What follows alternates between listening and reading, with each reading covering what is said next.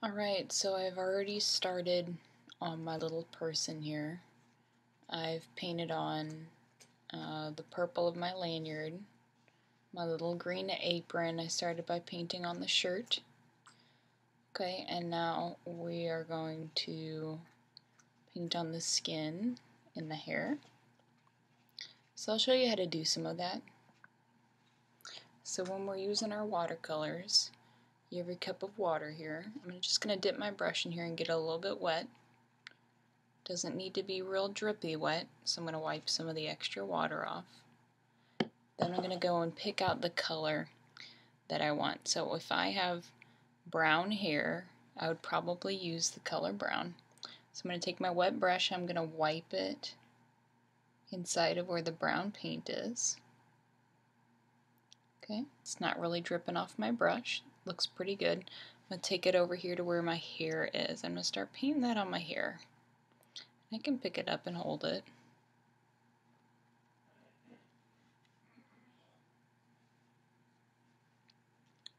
So my brush is starting to run out of paint. I'll come back and get a little bit more.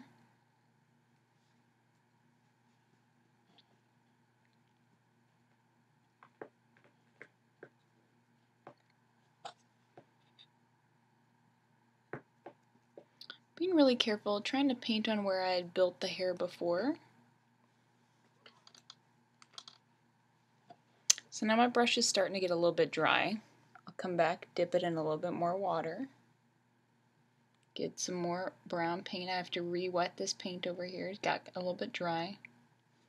Come back, paint it on my hair.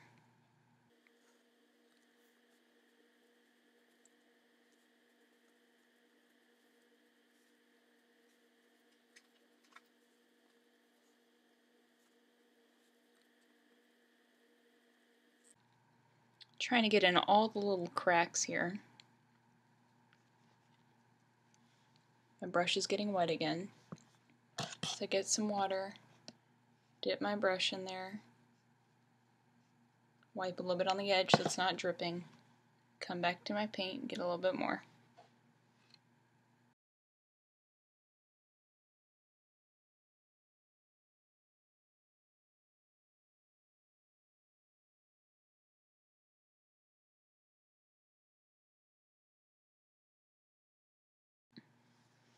Ta-da! That is how you paint on some hair.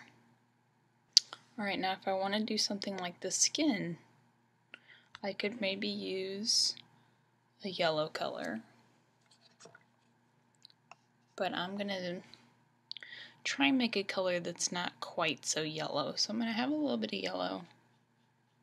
So I get some yellow wet and then I'm going to put it in my tray right here. So I'm going to put some yellow paint over here. Take my brush into my water again, get my brush wet, clean it off a little bit. Get a little bit of brown. I'm going to mix that in with my yellow. Hmm. Seems kind of dark. So I'm going to add a little bit of water to it. Get some water on my brush, dip it in here. Okay, so I'm going to test out my color, see if it's what I want.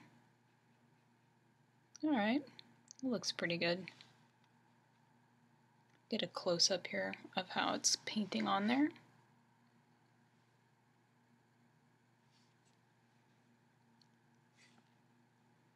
Because I think of my skin as being more brown than yellow. It seems kind of wet. I'm going to blow on it a little bit.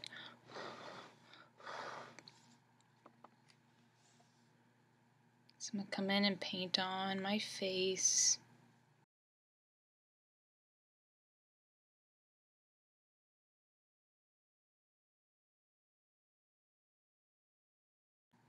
I kind of painted over my eyes, but what I'm going to do is I'm going to come back to those eyes and I'm going to paint in my color. So I'm going to blow on the face a little bit. Dry some of that paint up. Now, I'm going to clean my brush off in my water, clean it, wipe it. Now we don't need to blot it because this is watercolor. I'm going to make a green color for my eyes. So I'm going to get a little bit of green. My eyes are green. I'm gonna come in I'm just gonna blow in the face a little bit, make sure it's dry enough.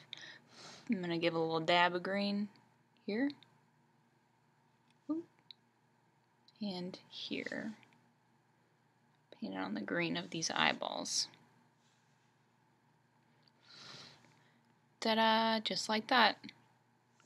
We've painted a little puppet.